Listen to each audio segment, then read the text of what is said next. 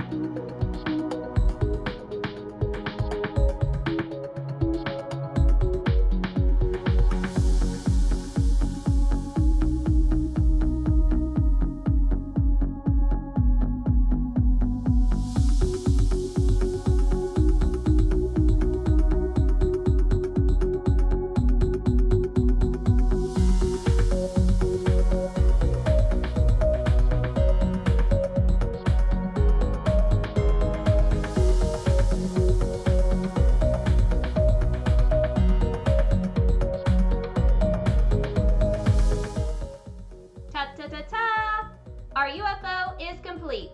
Thank you guys so much for watching today. Please don't forget to like, comment, and follow, as well as having a wonderful afternoon.